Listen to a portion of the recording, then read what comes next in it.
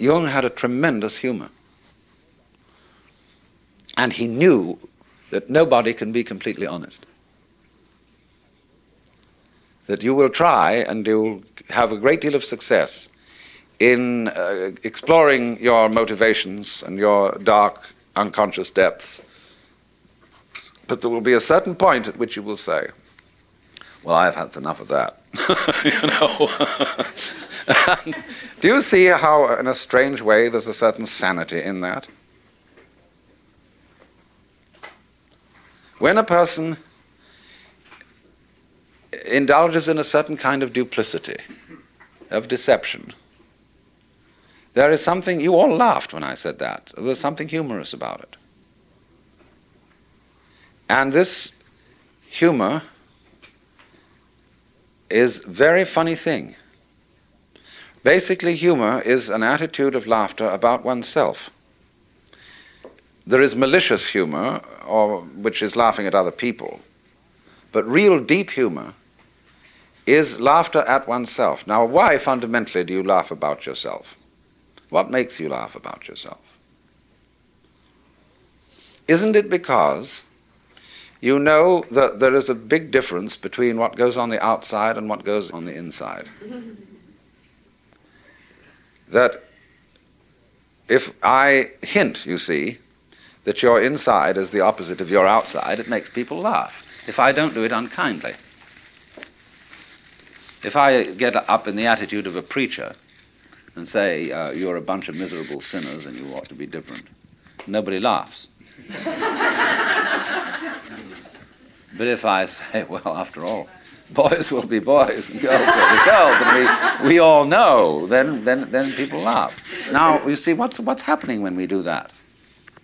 Now, I passed you around a lot of embroidery to look at before we started. And I'm perfectly sure that you got the point. That there's a big difference between the front and the back. In some forms of embroidery, the back is very different from the front because people take shortcuts. In the front, everything is orderly, and it is supposed to be kind of messy on the back side. See, which side will you wear? You've got to be sure you get the front in the front and have the back in the back. The back has all the little tricks in it, all the shortcuts, all the lowdown that people don't acknowledge, see? And it's exactly the same with the way we live. You know, like sweeping the dust under the carpet in a hurry just before the guests come. I mean, we do ever so many things like that. And if you don't do it, if you don't think you do it, and you think, well, really, I, my embroidery is the same on both sides, see?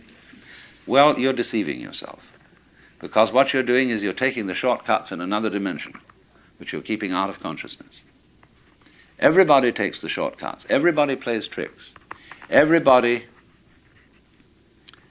has in himself an element of duplicity, of deception. Because you see, from this point of view that I'm discussing, where the web is the trap, to be is to deceive.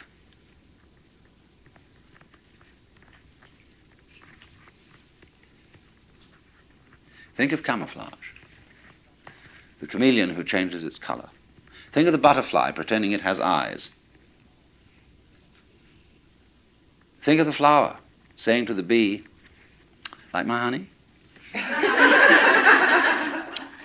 bee says, wow. but then that means that the bee has to be and it has to go on living and all the trouble it takes to go around collecting honey and raising other bees and organizing itself and doing that dance which tells the other bees where there's more honey. There's all that stuff to do. But the flower was deceptive.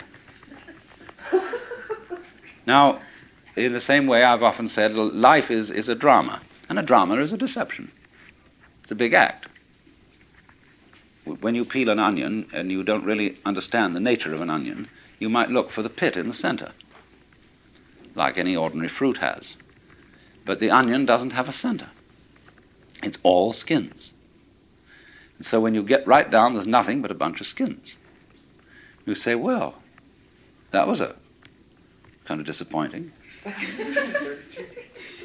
but of course, you have to understand that the skins were the part that you eat.